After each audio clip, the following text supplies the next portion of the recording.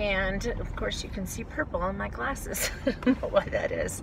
Uh, anyway, I'm on my way over to see that ear, nose, and throat doctor again.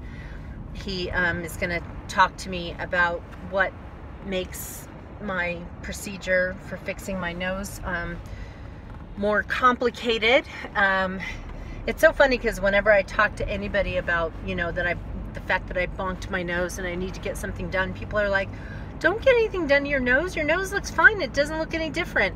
Uh, it is slightly wider on the end than it used to be, but that is not why I am getting something done. I'm getting it done because the cartilage, actually the cartilage that's supposed to be on the side of my nose that's toward the center is actually touching the other side, leaving the the space for air to go in you know, very constricted. And in fact, like if I put a Q-tip up my nose, I was kind of just kind of feeling around in there for what the cartilage is doing. And on this side, the the Q-tip just kind of goes straight up and on this side it goes all the way over that way before there's an opening. And I don't know what it is about my uh, condition that is makes the surgery more complicated. So I'm going to go and find out today and also talk to him about some allergy things because he said I have uh, inflamed tissues in my sinuses so I need to talk to him about what I'm allergic to and you know like how I can how I can deal with that. I have a feeling it's a food allergy kind of a thing because what could be blooming right now? I mean there's snow everywhere and it's so cold. Uh, right now it's in the low 40s so that's nice that and the snow is melting, but there's so much snow. We got 38 inches total of snow in 24 hours, and that is a record. It has, and so it's it's just nuts. I mean, there there's no parking anywhere because they push snow into parking spaces, and it's just pretty uh, pretty crazy. We John and I were over at my mom's the other day helping clear off three feet of snow from her back deck, and we pulled down a 40 pound icicle from her roof, and it was probably 10 inches in dyna- diameter. In diameter, absolutely crazy. Looky here, I'm so excited. This is my FabFitFun box, and I'm gonna do a video on it so you can see everything inside. So be on the lookout for that. Hi guys, I'm getting ready to leave to go to um, an acupuncture appointment. Today is February 28th, so the last day of the month, and uh, doing my last acupuncture, sorry it's so dark right here, pampering thing um, for this month. And of course my, um, my next mini challenge starts tomorrow where I'm gonna be playing my guitar sorry, I was putting a ring on while I was holding the camera. But um, yeah, so I'm going to be playing my guitar five days a week. I'm excited. I also have incentive to play my guitar more because my friend Donna and her sixth grade daughter are taking guitar lessons with me. We started last night, so it kind of is just inspiration for me to start playing my guitar more. So I'm excited about that. Um, and just wanted to let you know that the deal with buying my mom's house is going through.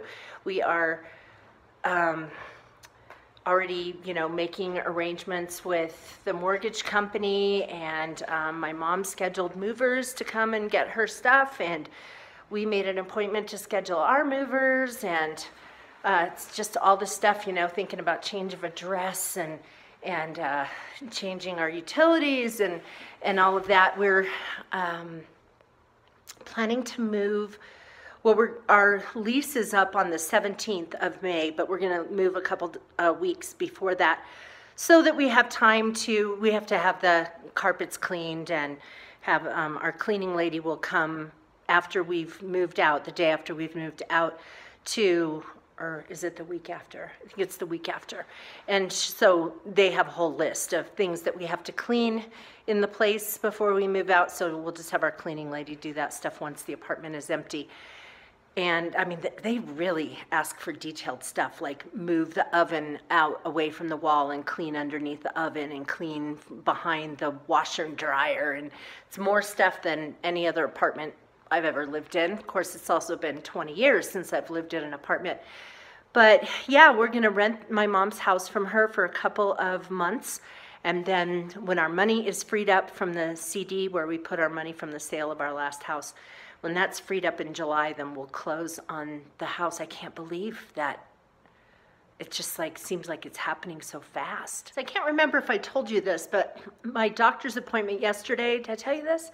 That he just thinks that my allergies are horrible and he thinks that I have food related allergies. And so they took eight tubes of blood out of me yesterday and then and just tested for environmental and food allergies. And then from there, we'll we'll figure out what to do to try to clear up the sinus stuff and then if if that clears up and my airways open up really well i may not need surgery on that cartilage after all so we'll see we'll see how that goes and i'll let you know when i find out but it's going to be really weird to especially to be plant-based and gluten-free if that's what it is. Like what the heck am i going to eat? Zucchini? I don't know. But um, yeah that's going to be an interesting little journey coming up also, just wanted to let you know that I put up a video on the March mini challenge that you guys can watch. And then I have two more videos, an empties video for February and um, what's the other one?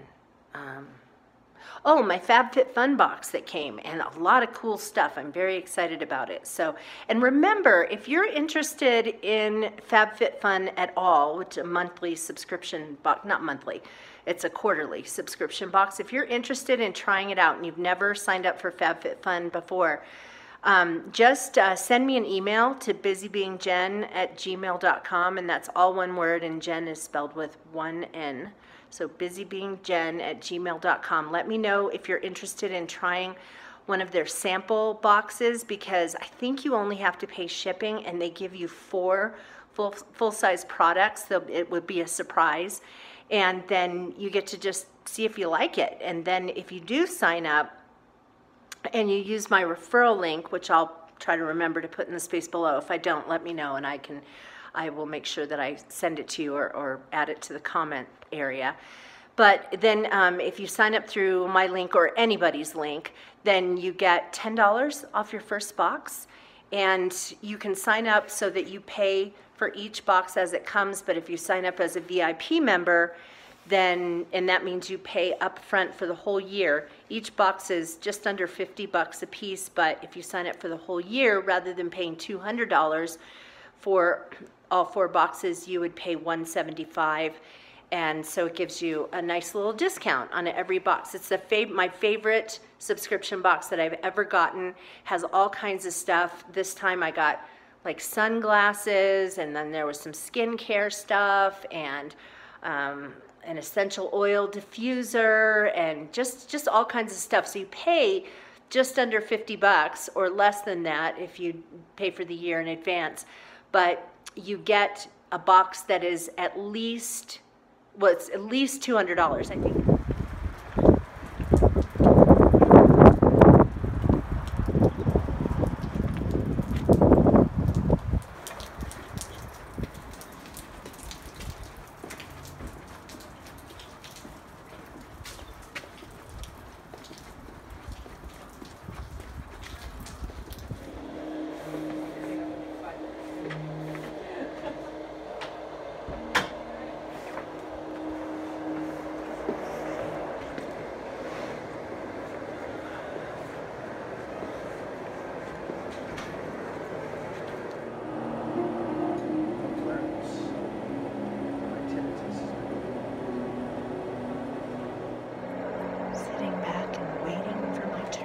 I just finished my appointment. Hope that um, video clip gave you a little bit of a picture of what it's like in there. Uh, on certain days of the week, she's open, you know, certain time frames. And so today they opened at 2 and my appointment is, was at 2, which is why there, you know, were so many empty chairs when the, I left. Every chair in there was full. And um, I asked her about treating allergies and she said she could definitely do that so um, so I actually feel so much more opened up and I hadn't really thought about going to acupuncture for for allergies or for breathing um, because I had started going because of pain in my jaw. And it's good for pain too. But it was, um, yeah, it just feels really good. But she said that I should probably come one to two days a week. And the nice thing about community acupuncture is that there's a sliding scale and it's not based on your income, it's just based on how much you feel you can or want to pay. And so it's, you know, anywhere between 15 and $35 that you can pay. So, uh, so if, you know, if I need to go, usually if I'm just going, you know, occasionally I pay her more, but if I'm going, you know, several days a week, then I pay a little bit less just to make it more affordable. So that was, that was really nice.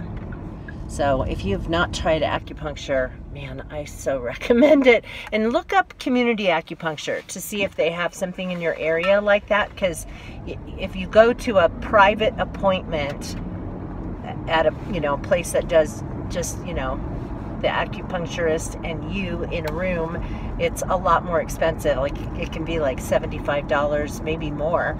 But when you've got 12 people in a room and it, it, it doesn't feel like you're surrounded by tons of people but when you have you know that many people who are getting treated at one time they can they can charge less which well look what i have here a bag of pine needles i actually helped my mom in the fall rake pine needles a few times and i gathered some up because i just kind of gotten in the mood to make another pine needle basket um, i will link for you i'll probably put it in the video for you to click on here, but otherwise in the space below, a video I did on my other channel called My Flagstaff Home that gives a tutorial about how to make baskets out of pine needles.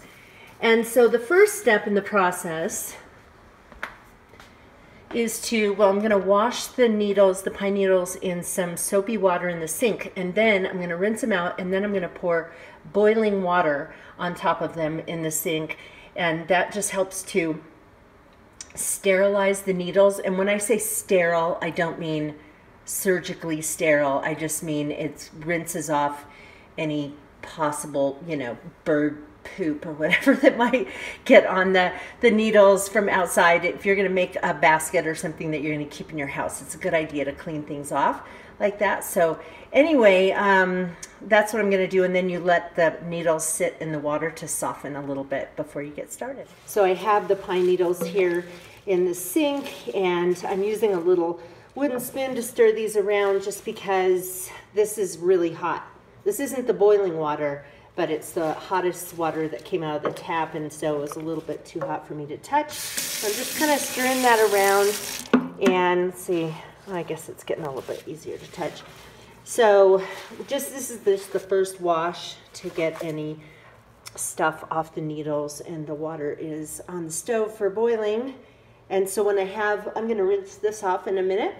And then when the water is boiling, I'll put, put that on there and let it sit for a while to, so the needles soften. And I wanted to point out that it's important to find pine needles that are at least five inches long. If they're longer than that, great. But if they're short ones, like at my old house in Camp Verde, the pine needles were probably only about this long from here to here. And there's just no way that you could do a basket like that. You'd have little ends sticking out everywhere. So they have to be kind of long.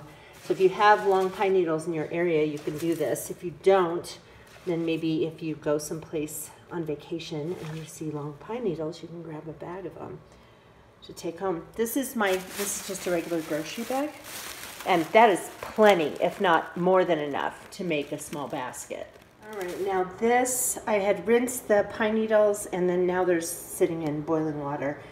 And I'm just gonna, there's steam coming off there, I don't know if you can see that, but once this uh, cools enough that I can touch it, then that should be enough. It should, they should be soft enough. And then I, I just, I actually uh, take this and keep it in a Ziploc bag wrapped up in some paper towel and it just kind of keeps the pine needles moist and then they stay soft while you're making your basket. So I just want to show you, this is a pine needle that has not been soaking. And my needles have been soaking for about five minutes now. But this is one that is dry And if you try to bend it like you would need to do to weave something, it just breaks. If I take one out of here, they're still pretty hot. Um, this this needle's been soaking and so you see that it's much more pliable and so then it's not going to break on you. And this is how I store them. It's just a, you know, it's just a bundle of them wrapped in paper towel in this bag. It will keep them moist. And then I have this this many more in the sink. Ow, that's still pretty hot. Um, and I'm just gonna leave them in there until it cools off a little bit more. And then I'll dry those out and I'll keep those in a separate Ziploc bag that is, you know, where these will be kept dry. And then I'll know that these guys have not yet been cleaned. The ones that are in the Ziploc bag like this have been cleaned and dried and only need to be re-softened when I'm ready for more pine needles. And these guys are ready to use. Here's what I've been working on so far. And, you know, I'm, I'm not an expert at these baskets. So getting the, the lines to line up nicely are a little bit difficult. And the back, I'm terrible at making the backs look good. But thankfully this basket, you know, this will be on the bottom so it won't show. So the lady who taught me how to make baskets made this one. And it's just beautiful. And, you know, the sides and the bottom, everything on hers is perfect. So it's been, Monica, stop. It's been a long time since I've made a basket. And one of my viewers asked if I would do another video about baskets. And so I thought, well, I need to get back into making some of these. So I don't know that I'll ever get to where I can make one as nice as this. But see these, um, the brown pattern in here? That's the end of the pine needle where you know there's like three needles that come out and they're all held together and so right now on my basket I'm cutting those ends off. But when I get to a point where I'm going to start creating a pattern then I'll leave them on. So kind of pretty though. I mean very pretty. Hers. Mine is okay. Hi guys. It is Saturday morning. I'm on my way over to this women's conference at my church. Um, it's there was it started last night. Last night was a gathering with uh, women from different churches around Flagstaff, and then today is an all-day retreat at our church. Everyone who was at the thing last night will break out to their own churches for the thing today. It's called the IF Gathering, IF, and it's. Uh, a thing where, well, I guess their main conference this year was in Dallas, and then they decided to start a thing called If Local, meaning they want people to telecast, broadcast these, um, you know, the filming of the conference and but have it in their own areas so that more people can attend because not everybody can make it to like to Dallas or wherever they've had these things in the past. And uh, there were like 1,600 locations apparently that are doing this conference in their in their own areas. 1,600, not not like in the U.S., all over the world.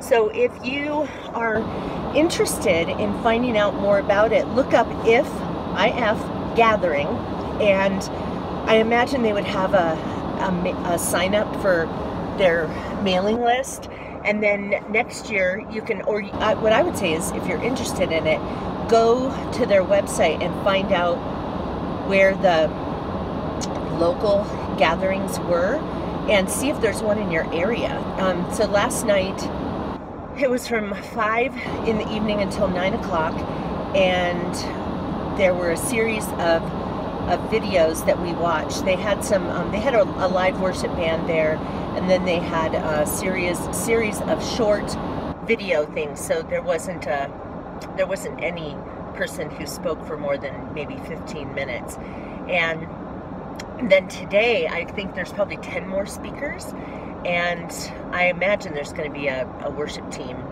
that they've assembled from our church that's going to be playing and they're serving lunch and all of that. So, and last night's thing was fifteen dollars, and they provided some food and stuff. And they everybody got this little necklace that you can't see on me right now that says it's just a little bar and that says if on it.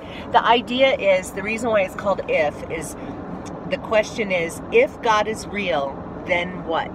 What does that mean for your life? And what does that mean for how you live? So it was pretty inspiring. And there were a lot of ladies from my church who were there last night at this thing. I mean, there were people from other churches, but I would imagine that most of the ladies who were there were from our church. So I'm going to be at that all day. And today's thing, I was going to say, last night's thing was $15, and there were a few things that we got as part of that registration. And then today's thing is free, and they're providing lunch for everybody, and it's all day. So I imagine they'll do some like breakout sessions or things where at least where there's talk, you know, table talk. And um, I'm, I'm just guessing that they're making it not just where people come and sit and watch TV from nine to five, but that there's some interaction that they've planned for how this goes. And I just wanted to let you know, I'm almost to the to the church, but if I give you snippets of the the venue, um, just know that this is our what we call our ministry center. Our church actually meets in an auditorium at a school, a really nice auditorium. And then we have this ministry center that's in a like strip mall shopping area. So when you see the room, it's that room that I showed you when I gave the talk for the women's event in the fall. So just so you know, our church is not in, it doesn't meet in that kind of a small room, but when we have extra events, this is where our things take place. Water, so the heart reflects the real person. Just as death and destruction are never satisfied, so human desire is never satisfied. We can make our plan. Okay, let's get started. Um, just a verse, a single verse from the book of Proverbs. Above all else, guard your heart, for everything you do flows from it. Above all else, guard your heart, because everything you do flows from it. Look beyond where we are. You know, you, Catherine, are a mom and a ministry leader, and um, there is got to be tension in terms of um, the care that you give to the folks in, in ministry and the care you give to the family.